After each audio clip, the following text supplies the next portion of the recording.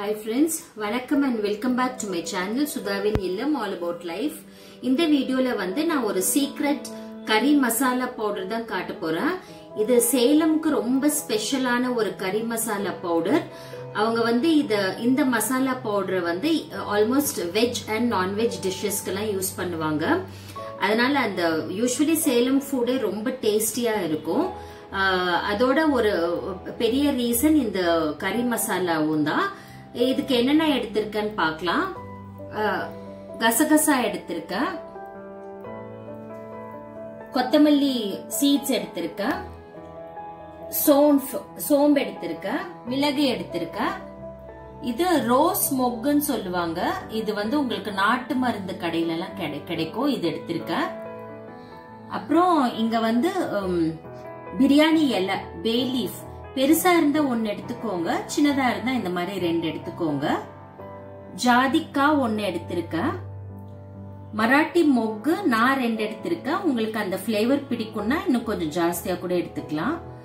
ஜாதி பத்ரி ரெண்டு எடுத்திருக்கேன் ஏலக்காய் ஒரு பதினஞ்சு எடுத்திருக்கேன் கிராம்பு பதினஞ்சு எடுத்திருக்கேன் பட்டை ரெண்டு இன்ச் பீஸ் வந்து பதினஞ்சு எடுத்திருக்கேன் வந்து ஃபர்ஸ்டே எல்லாம் மெஷர் பண்ணி வச்சிருக்கேன் இப்போ உங்க கன்வீனியன்ஸ்க்காக திருப்பி மெஷர் பண்றேன் இந்த கொத்தமல்லி சீட்ஸ் வந்து அஞ்சு டேபிள் ஸ்பூன் எடுத்துக்கலாம்.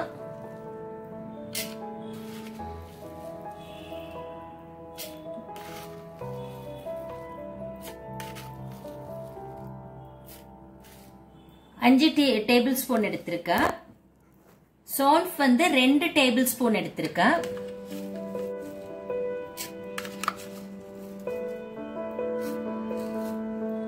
கசகசாவும் ரெண்டு டேபிள் ஸ்பூன் எடுத்திருக்கேன்.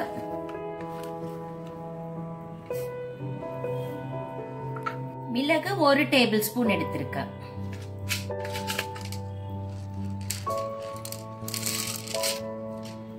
இந்த ரோஸ் மொக்கு வந்து ரெண்டு டேபிள் ஸ்பூன் எடுத்திருக்கேன். இது எடுக்கிறது கஷ்டமா இருக்கு. ஆனா நான் மெஷர் பண்ணி ரெண்டு டேபிள் ஸ்பூன் போட்டிருக்கேன். இந்த ஜாதிக்காயை நம்ம வந்து ஒரு நாலு பீஸா பிரேக் பண்ணிக்கலாம். இதெல்லாம் இப்ப ட்ரை ஃப்ரை பண்ணிக்கலாம். இப்ப கடாய் சூடாயிடுச்சு. இப்ப கொத்தமல்லி சீட்ஸ் சோன்ஃப் மிளகு எல்லாம் ஒன்னா போட்டு நல்லா வறுத்துக்கலாம். அந்த சோம்பு நல்லா பொரிக்கும். பொரிச்சு நல்லா கமகமன் வாசனை வரும். அது வரைக்கும் நம்ம வறுத்துக்கலாம்.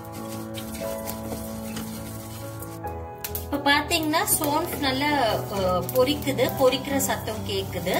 நல்லா வாசனையும் கமகமன் வருது.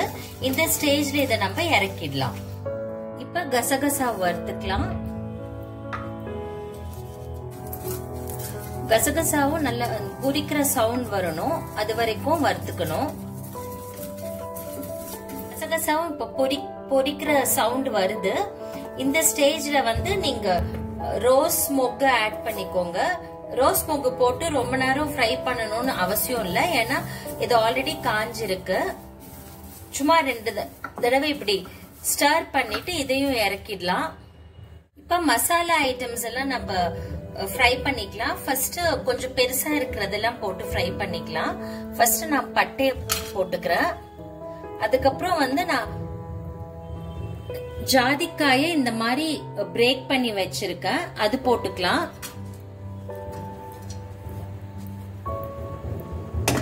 போட்டுட்டு இது கொஞ்சம் ஃப்ரை பண்ணிக்கலாம்.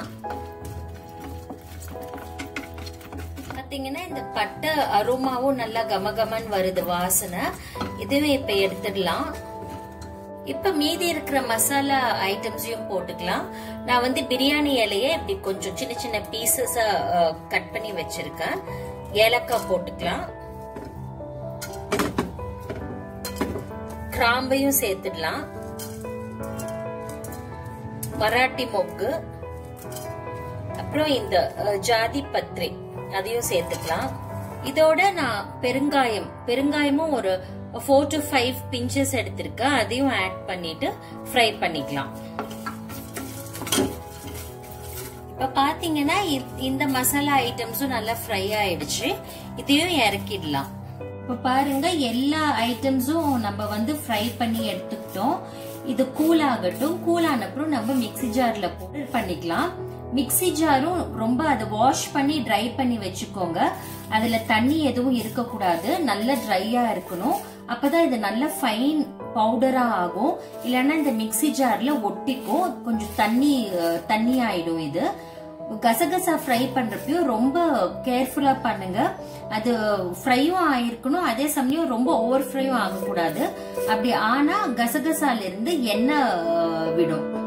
பாத்தீங்கன்னா ஃப்ரை பண்ணி வச்ச மசாலா ஐட்டம்ஸ் எல்லாம் கூல் டவுன் ஆயிடுச்சு. மிக்ஸியும் நல்லா ட்ரையாக இருக்கு. இப்ப இந்த மிக்ஸி ஜார்ல போட்டு நம்ம பவுடர் பண்ணிடலாம். இப்ப பாருங்க சூப்பரான சேலம் மேஜிக் கறி மசாலா ரெடி ஆயிடுச்சு. இப்ப இது நல்லா கொஞ்சம் கூல் டவுன் ஆன அப்புறம் ஒரு நல்ல ஏர்டைட் கண்டெய்னர்ல போட்டு வச்சுக்கோங்க. இது வந்து கொஞ்சமா நீங்க கிரைண்ட் பண்ணிக்கிட்டீங்கன்னா ஒரு ஃபோர் ஃபைவ் டைம்ஸ்க்கு இது வரும். சிக்கன் மட்டன் நான்வெஜ் ரெசிபீஸ்க்கு டூ டீஸ்பூன்ஸ் ஆட் பண்ணுங்க. அதே மாதிரி vegetarian recipes mushroom masala potato fry அந்த மாதிரி ரெசிபீஸ் வெஜிடேரியன் ரெசிபீஸ் எக் மசால் அந்த மாதிரி வெஜிடேரியன் ரெசிபீஸ்க்கெல்லாம் ஒன் டீஸ்பூன் போடுங்க. இது வந்து கொஞ்சம் காட்டு பஞ்சன் ஸ்மெல் ஜாஸ்தியா இருக்கும். அதனால மைல்டா நான்வெஜ் டிஷ்ஷஸ்க்குனா டூ டீஸ்பூன்ஸ் போடுங்க. வெஜ் டிஷ்ஷஸ்க்குனா ஒரு டீஸ்பூன் போடுங்க. அவ்வளவு போதும். இந்த சேலம் மேஜிக் கறி மசாலா ரெசிபி உங்களுக்குலாம் ரொம்ப பிடிச்சிருக்கும்னு நினைக்கிறேன். பிடிச்சிருந்ததுன்னா என் வீடியோவை லைக் பண்ணுங்க கமெண்ட் பண்ணுங்க ஷேர் பண்ணுங்க.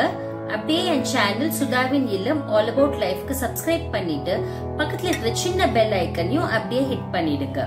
தேங்க்ஸ் ஃபார் வாட்சிங் ஸ்டே டியூன் டு சுதாவின் இல்லம் all about life for many more interesting useful and informative videos Bye till we meet again.